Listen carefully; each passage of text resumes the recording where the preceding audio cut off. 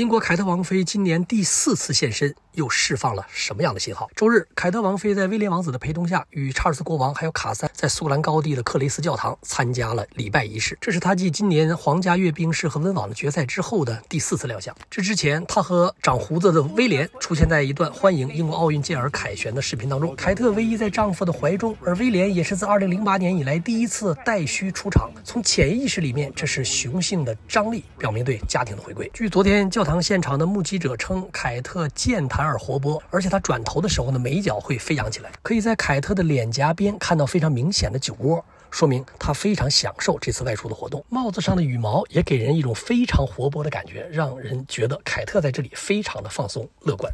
而且我们也看到乔治小王子也出现在车的后座位上面，特别是在去教堂的路上，呃，凯特王妃坐在呃老公威廉王子驾驶的车辆上的时候，我们可以看到威廉的笑容映照在凯特的脸庞。关注我，关注凯特王妃。